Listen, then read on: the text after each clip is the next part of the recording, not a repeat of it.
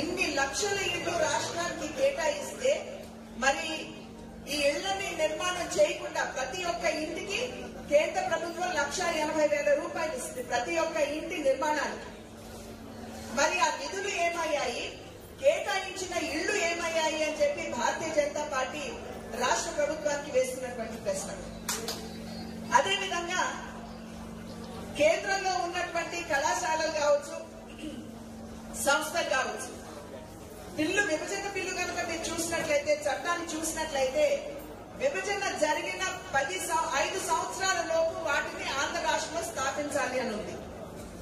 కానీ ఐదు సంవత్సరాల కాలం వరకు కూడా భారతీయ జనతా పార్టీ నాయకత్వంలో ఉన్న కేంద్ర ప్రభుత్వం ఆగలేదు.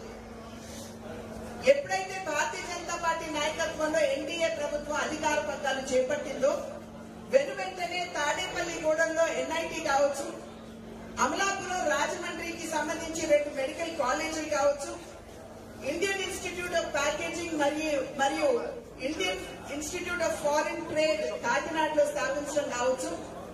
ఫిష్ ప్రాసెసింగ్ ఇన్స్టిట్యూట్ ఏదైతే ఉందో అది ఉప్పాడులో కేటాయించడం కావచ్చు. Container corporation multi nodal park ఏదైతే ఉందో అది కాకినాడలో కావచ్చు. పాస్పోర్ట్ సేవా కేంద్రాలు ఏవైతే ఉంటాయో అవి కాకినాడ మరియు కావచ్చు. డిఆర్డిఓ మిసైల్ టెస్టింగ్ సెంటర్ ఏదైతే ఉందో మరి గొల్లలగోదలో అంటే నాగాయలంకలో దాన్ని స్థాపించడం కావచ్చు.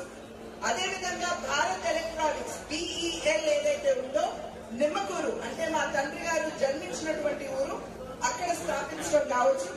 అదేవిధంగా డ్రెజింగ్ కార్పొరేషన్ పద్దెనిమిది వందల కోట్ల తోటి అంతర్వేదిలో స్థాపించడం కావచ్చు. ఇవన్నీ కూడా నేను యావత్ ఆంధ్ర రాష్ట్రం గురించి మాట్లాడుతుంది ఈ ఒక్క ప్రాంతానికి కేంద్ర ప్రభుత్వం కేటాయించినటువంటి సంస్థలని ప్రజలందరూ కూడా గమనించవలసినటువంటి అవసరం ఉన్నది అని చెప్పి నేను తెలియజేసుకుంటున్నాను. అదే మౌలిక సదుపాయాలు చాలా అవసరం.